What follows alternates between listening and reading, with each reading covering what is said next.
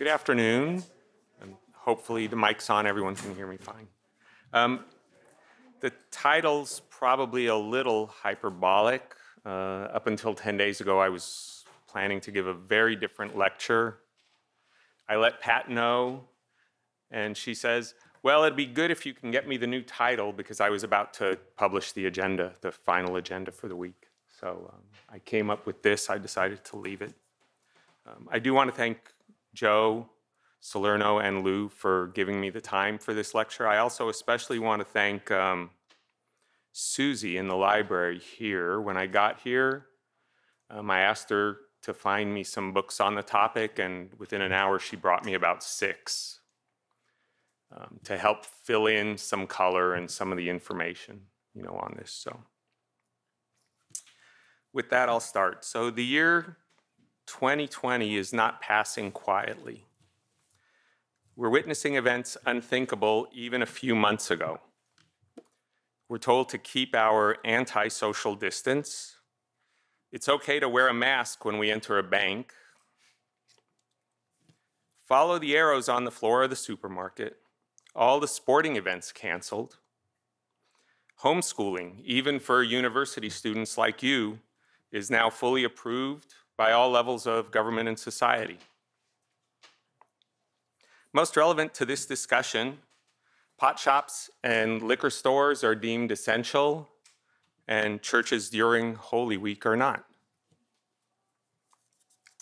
Add to this the protests, more specifically the riots. Police are told by government officials to stand down. Those who intend to defend their lives and their property are the ones who are judged by the media and potentially by the government prosecutors and the courts. We've also learned that protesting and rioting wards off viruses. You don't need to wear a mask during these activities. And we're supposed to trust the science. What of all of this is directly relevant to you? Um, why did I feel it appropriate to change the topic of this lecture in the last days? Obviously, we're living through massive cultural changes. While culture always evolves, in the last several days, in the last several decades, the changes have been revolutionary, and I use the term purposefully. These changes are aimed right at you and those who have sat in your place over the last decades. The purpose is to create soldiers for the revolution.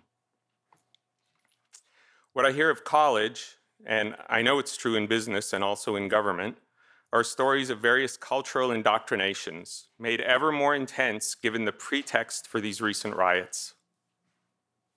Politically correct speech to include even compelled speech, cancel culture, self-flagellation, a fight for a gold medal in the oppression Olympics. If you disagree with any of this, you're the fascist. To further cement this indoctrination, a requirement to take classes that tear down Western civilization. Even saying those two words in anything other than a scornful tone, scornful tone could be costly. There's a purpose behind this strategy. Events that we have been living through recently are not spontaneous or random. It's not accidental. These events are the result of a political strategy designed to strip us of our liberty. It's an insidious strategy. It's also very effective. Whether knowingly or not, those carrying out this strategy are using the playbook of the most successful Marxist thinker in history. Given the damage this strategy has done to the freedoms of the West, I consider him to be the greatest political strategy, strategist in history. And this is what I would like to discuss. Before beginning, I should give you fair warning on two points. First, much of this Marxist playbook sounds an awful lot like the wishes of simplistic libertarians. Libertarianism for children, as a good friend, as a good friend once labeled this. And I will come back to this point more than once. Second, there will be a lot of discussion of Western tradition and culture in this lecture. Inherently, this will include Christianity. But if you want to understand the enemy's playbook, then this cannot be avoided. I know many libertarians push back hard on this topic. Christianity is unnecessary for liberty. In fact, it is an enemy to liberty. I will only ask that you keep in mind the most successful Marxist thinker in history believed that Christianity is the enemy to communism. It's what stood in the way of communism's advance in the West. For now, I'll just ask that you stay open to the possibility that he was right, because when I look around me today, he sure appears to have been right. With this laborious introduction out of the way, let's begin. The political strategist of whom I am speaking is Antonio Gramsci. Malachi Martin summarizes the importance of Gramsci in his book, The Keys of This Blood. Quote, the political formula Gramsci devised has done much more than classical Leninism and certainly more than Stalinism to spread Marxism throughout the capitalist West. What is that formula? Gary North explains. Noting that Western society was deeply religious, Gramsci believed that the only way to achieve a proletarian revolution would be to break the faith of the masses of Western voters in Christianity and the moral system that derived from Christianity. I've decided I'm just going to leave this slide up for most of the lecture because it's the context of the entire lecture. The first quote is the ends, the objective, and the second quote is the, the means. So it's all there. I'd say we could stop now, but I've written a lot of words, so we'll keep going. Religion and culture were at the base of the pyramid, the foundation. It was the culture and not the economic condition of the working class that was the key to bring communism to the West. To be fair to Gramsci, he didn't start this ball rolling. The West was doing a fine job of damaging its cultural tradition. One can point to elements of medieval Catholicism, the Reformation and the Renaissance, the Enlightenment, as I've previously discussed, and post-millennial pietist, all right, you guys try saying these three words fast in a row. Post-millennial pietist Protestants, as Murray Rothbard so clearly demonstrated. These are all contributing to the, these have all contributed to the destruction long before Gramsci hit the scene. But without these cracks in the armor, Gramsci couldn't have ever been successful. What's our current condition relative to Gramsci's objectives? I could speak to the destruction of the family, the loss of all meaningful intermediating governance institutions, the absurdity of a good portion of what passes for university studies today, especially in the liberal arts and humanities, all of which are symptoms of the crumbling of the ultimate target at which Gramsci aimed. We have this year been given indisputable, indisputable evidence as to the success of his political strategy in the response by Christian leaders to the coronavirus. Just as one example from Kentucky, and I'll quote, when I asked Bishop John Stowe of the Catholic Diocese of Lexington what he would say to a pastor planning Easter worship, he was blunt. I would say it's irresponsible, he said. It's jeopardizing people's lives. I know we live in a fact free world, but was it ever wise to believe that we were facing the Black Death? In pre modern plagues, did Christian leaders act this way? The simple answer to both questions is no. Yet we have churches closed during Holy Week. I cannot think of a better symbolic representation of the destruction of Christianity in the West and such is the success of Antonio Gramsci. Who is Antonio Gramsci? He was an Italian Marxist, more accurately, an Italian communist, writing on political theory, sociology, and linguistics. His work focused on the role that culture and tradition plays in preventing communism from spreading to the West. Gramsci was born in 1891. He died in 1937. Um, he was the middle of seven children.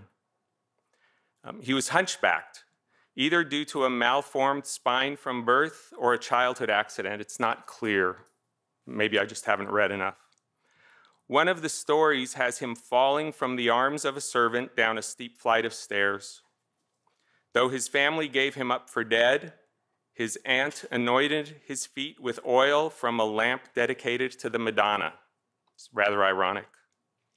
Continuously sickly until the age of 14, a coffin for him was kept at the ready in his bedroom. I mean, imagine what that does to you psychologically. His father was thrown in prison for political cause, and his mother somehow kept the family alive. Prior to leaving Sardinia for Turin and university, he was a nationalist. Sardinia for the Sardinians. I mean, this was just a couple of decades after, you know, Italy consolidated into a country as Germany did at the same time. Upon arriving in Turin, he came upon the automotive factories of Fiat. It was here that he found the class struggle, the workers and the bosses. World War I made this clear.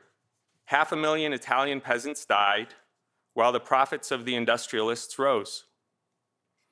He left university and began writing. He founded a newspaper, L'Ordine Nuovo, the New Order, with its first issue delivered on May Day 1919. He was a founder and leader of the Communist Party of Italy, and he was a member of parliament. With parliamentary immunity suspended by Mussolini, he was sent to prison. Several years later, a prisoner exchange was proposed by the Vatican. Send Gramsci to Moscow in exchange for a group of priests imprisoned in the Soviet Union. Mussolini put a stop to these negotiations in early 1933. It was during his time in prison when he wrote his famous prison notebooks, describing the contents as everything that concerns people. It comprised over 2,800 handwritten pages. 21 of the notebooks bear the stamp of prison authorities. Given the risk of censorship, he used bland terms in place of traditional Marxist terminology. Though completed by 1935, these were only published in the years from 1948 to 1951, not in English until the 1970s. By 1957, nearly 400,000 copies had been sold, and my sense is that's a lot. Suffering from various heart, respiratory, and digestive diseases, he was eventually transferred to a prison hospital facility. On April 25, 1937, the same day that he received news that he would be released, he suffered a cerebral hemorrhage and he died two days later. Through his notebooks, he introduced several ideas in Marxist theory, critical theory, and educational theory. Most important was the idea of cultural hegemony, which was the unifying idea of Gramsci's work from 1917 until he died. So, what is cultural hegemony? Why hadn't the Marxist revolution swept the West by the early 20th century?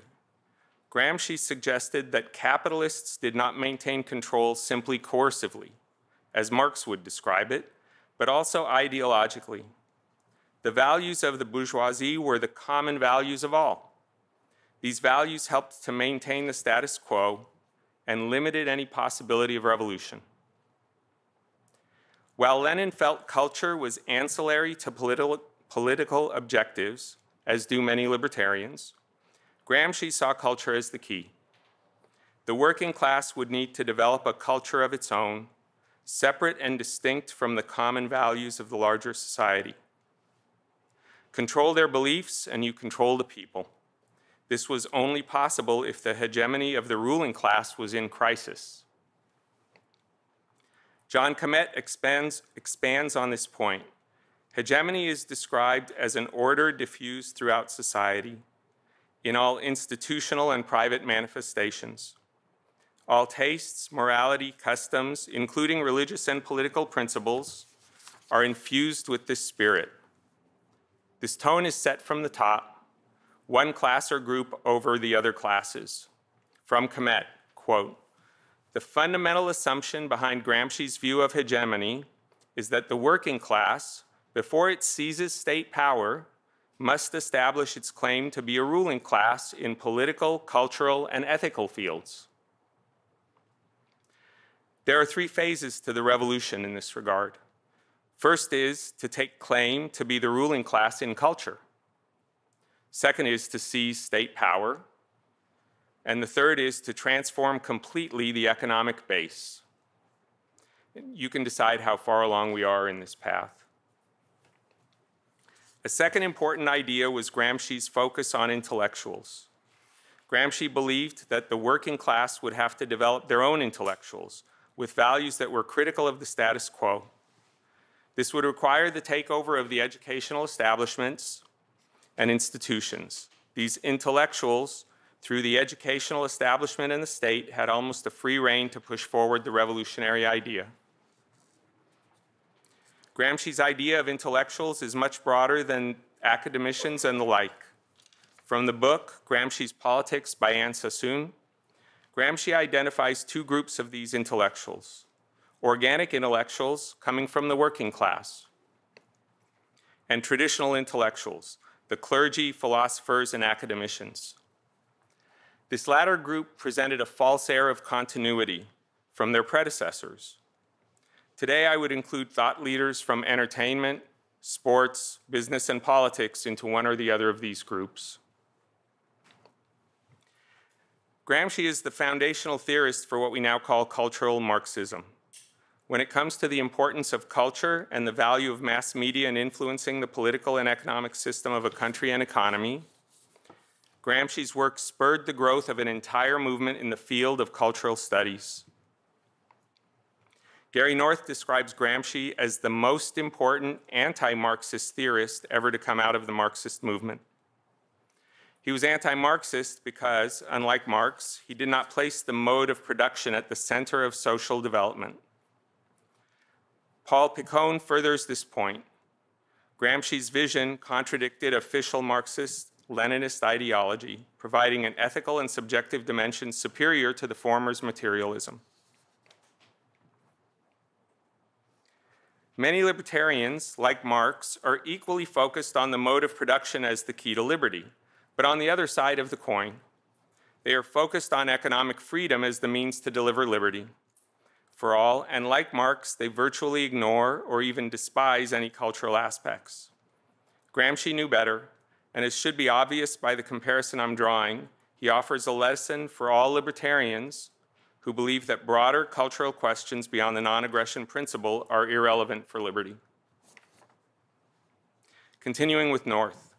Gramsci argued, and the Frankfurt School followed his lead, that the way for Marxists to transform the West was through cultural revolution, the idea of cultural relativism. The argument was correct, but the argument was not Marxist. The argument was Hegelian. The Frankfurt School further developed the concept of critical theory. Critical theory teaches one to be critical of every prevailing norm, attitude, and cultural attribute in society. The purpose is to challenge power structures and hierarchies. Spelling out precisely the discourse of tolerance, Herbert Marcuse of the Frankfurt School would write, quote, the realization of the objective of tolerance would call for intolerance toward prevailing policies, attitudes, and opinions, and the extension of tolerance to policies, attitudes, and opinions which are outlawed or suppressed. Violent revolution was not the answer. From Malachi Martin. While firmly committed to global communism, Gramsci knew that violence would fail to win the West. American workers would never declare war on their middle class neighbors as long as they shared common Christian values. Gramsci agreed with Lenin that there was an inner force in man, driving him to the worker's paradise, but he felt that the assumptions underlying this Marxian view were too basic and gratuitous. Yes, the great mass of the world's population was made up of workers, but this was insufficient, as Martin would write. What became clear to Gramsci, uh, this is Martin, what became clear to Gramsci, however, was that nowhere, and especially not in Christian Europe, did the workers of the world see themselves as separated from the ruling classes by an ideological chasm. These workers would not rise up against their co religionists, those with whom they shared culture, custom, and tradition. They would certainly not offer a violent overthrow as long as these traditions were held in common. Gramsci found the logic of Marx as it found its home in Lenin to be futile and contradictory. Was it any wonder that the only state in which Marxism took hold was the state which held it together by force and terror? Without changing that formula, a Marxism, Marxism would have no future. A common culture grounded in Christianity would always stand in the way, requiring ever increasing terror or requiring a different path, Gramsci's path. Murray Rothbard noted the Gramscian long march through our institutions in 1992, writing so colorfully Yes, yes, you rotten hypocrit hypocritical liberals, it's a culture war. Angelo Codevilla writes that there would be no need for brute force, contrary to the general Marxist view. Transform the enemy into the soldier you need. He will then do the rest. Gramsci's method would be more Machiavellian than Marxist. In the place of the prince, it would be the party.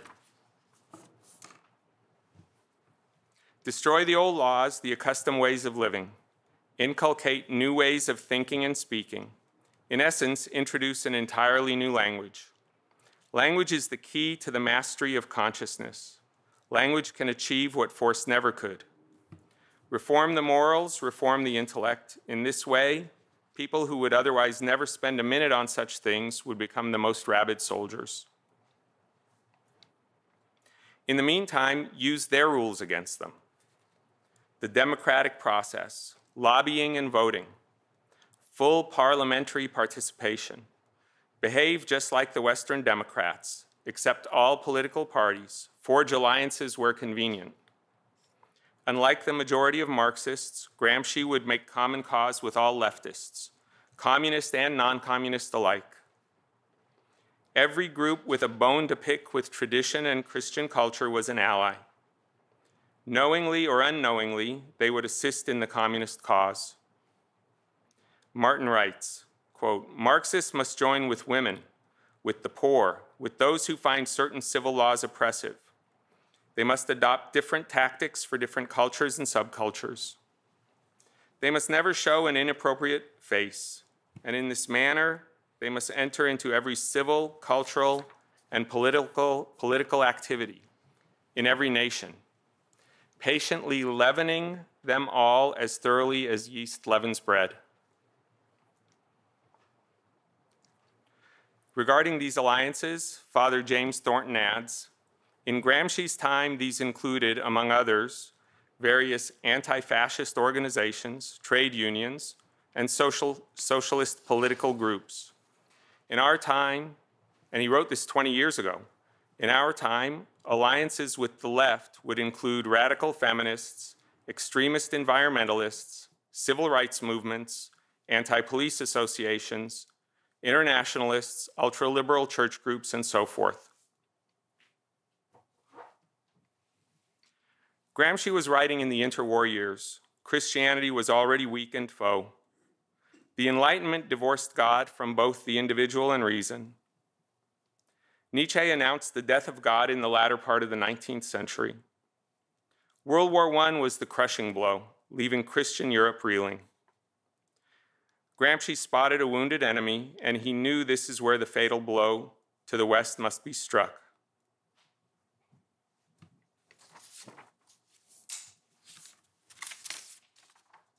Whatever was left of the Christian mind must be changed. Every individual, every group, and every class must think about life's problems without reference to God and God's laws. No Christian transcendence, at minimum, antipathy and even positive opposition to any introduction of Christian ideals. These could not be, possibly be allowed in the conversation regarding the treatment and solution to the problems of modern life. I could say the same things about many libertarians. Yet who do you believe has a better understanding of human nature, of the direction where such a path leads? Antonio Gramsci or any libertarian who views the broader culture as ancillary or even irrelevant to liberty? The Christian culture is being destroyed. This we know.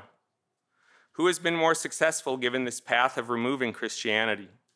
Is liberty, defined as rights in property and life, blossoming in the wreckage of this wake, or is it the other thing? I think to ask the question is to answer it. Martin continues All the meaning of human life and the answer to every human hope were contained within the boundaries of the visible, tangible, material world of the here and now. Limited to this material view offers the limits of meaning for us. Is it merely coincidence that the West is at the same time going through a crisis of meaning? We have no idea who we are, where we came from, or where we are going. Given that we are told to believe that we are nothing but the result of random atoms smashing together randomly, why would we? Academic institutions were already well on their way. Proud of their position as vanguards of forward-looking thinking, these new Marxist interpretations of history, law, and religion were like red meat to a hungry lion. Throw in easy-to-get student loans, extend the college experience to all, and add a couple million newly indoctrinated crusaders every year to the cause. Speak of man's dignity and man's rights.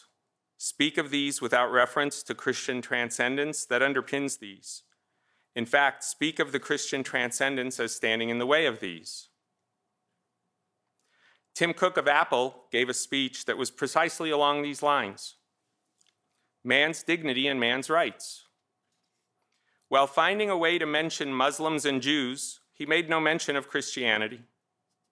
As Jonathan Pageau offers, what Cook is describing is a totalizing system, a system that includes everything except Christianity. From Cook's speech, there are only two values that matter. First is total inclusivity. Second is don't oppose the system. Total inclusivity means no borders, not physical, whether for the state or your private property, no borders for mental, not for emotional, not even of your body. If you don't embrace total inclusivity, by definition, you are opposing the system. Therefore, you are to be excluded. This was Gramsci's message, and it is Cook's.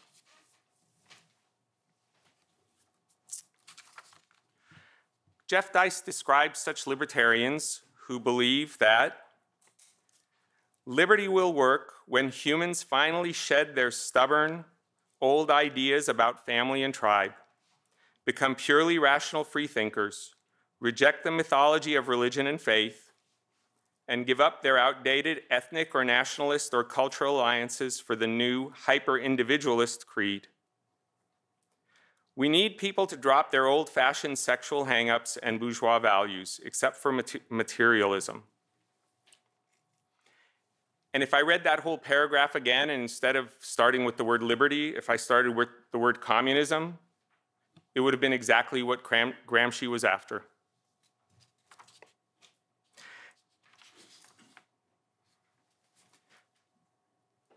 This hyper-individualist that many libertarians have in view was precisely the type of individual Gramsci desired for his project. Hans Hoppe offers that libertarianism is logically consistent with almost any attitude toward culture and religion.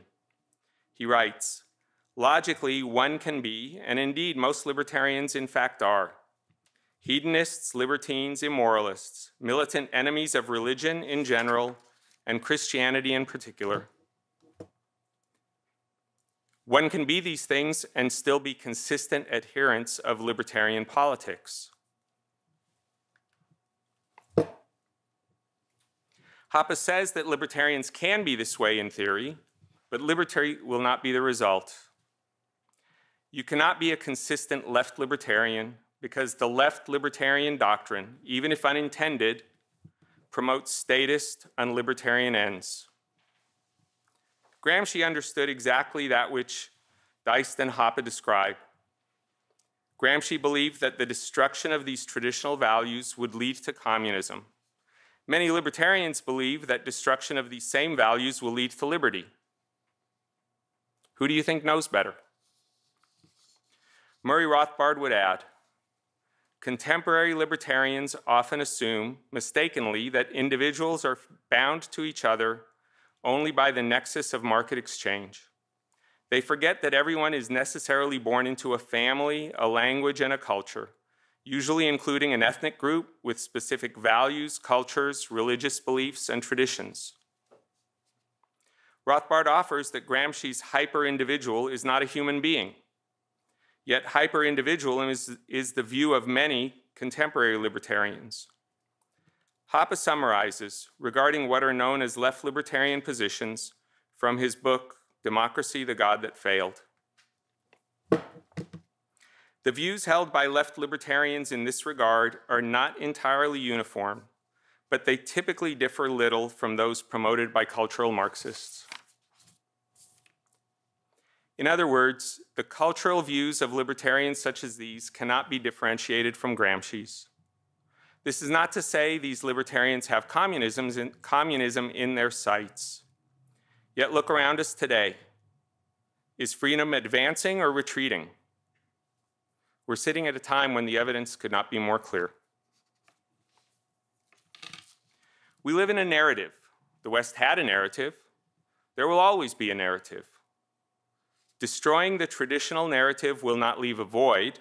A new narrative will take hold. We're seeing it on the street. Kneeling, washing feet, sitting with arms raised to heaven. The sainting of a Minneapolis martyr. Once we lose our story, our narrative, our tradition, we are lost. We are easily manipulated, not having any foundation of meaning. With no foundation, we blow freely in the direction of the new, loudest narrative.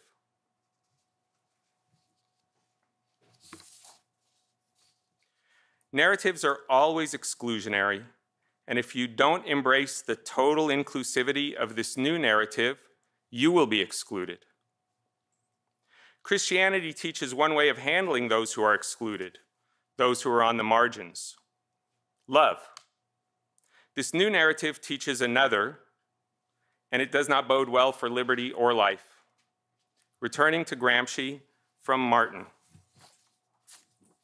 Total materialism was freely, peacefully, and agreeably adopted everywhere in the name of man's dignity and rights, autonomy and freedom from outside constraints. Above all, as Gramsci had planned, this was done in the name of freedom from the laws and constraints of Christianity create the autonomous, completely sovereign individual, freed from all hierarchies and freed from all responsibilities. Martin continues.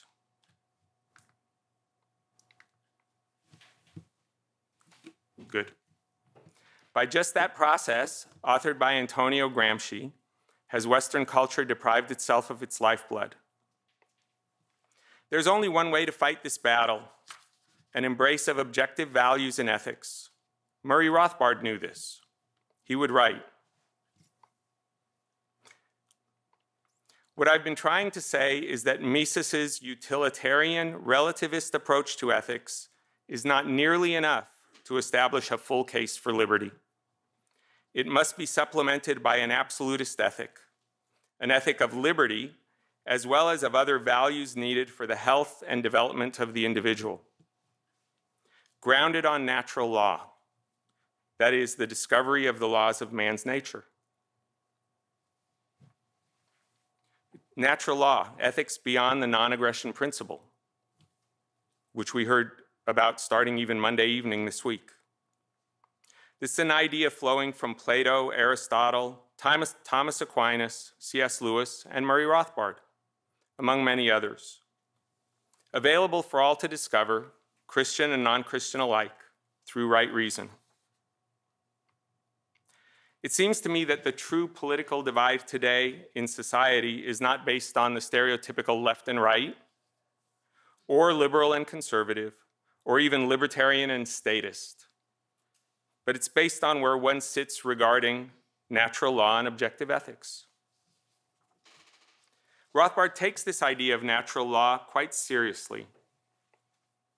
I at no time, quote, I at no time believed that value-free analysis or economics or utilitarianism, the standard social philosophy of economists can ever suffice to establish the case for liberty. He makes a very blunt point in his book for a new liberty, the Libertarian Manifesto. And I'll quote Rothbard. The natural law provides the only sure, the only sure ground for a continuing critique of governmental laws and decrees. I'll conclude.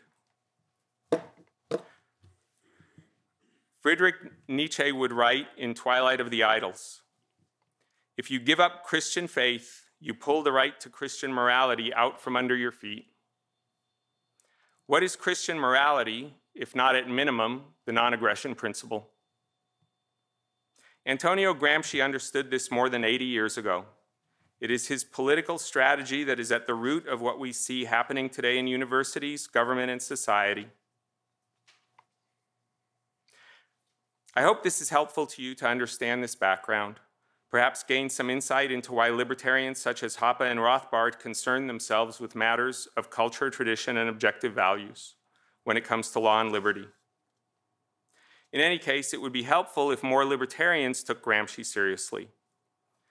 Liberty's enemies certainly are doing so, and by doing so, they are advancing.